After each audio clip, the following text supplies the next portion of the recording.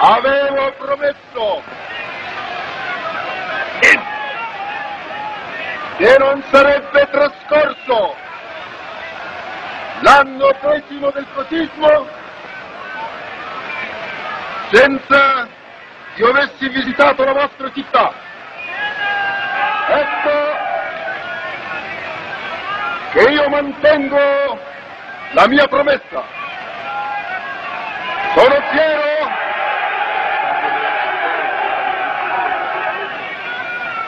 di essere tra voi e vi dichiaro con tutta schiettezza che la vostra accoglienza ardente ed entusiastica ha superato le mie aspettative.